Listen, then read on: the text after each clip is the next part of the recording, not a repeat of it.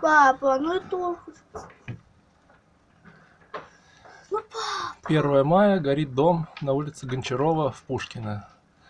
Уже приехали пожарные и практически полностью потушили часть дома, но соседняя пристройка загорелась. Вот. И соседи охлаждают строй воды свои постройки соседние, чтобы они тоже не загорелись.